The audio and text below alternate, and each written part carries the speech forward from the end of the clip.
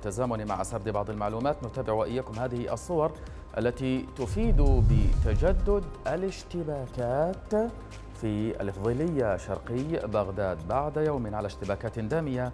راح ضحيتها خمسة أشخاص من بينهم نجل مدير الدفاع المدني ونجل شقيقه.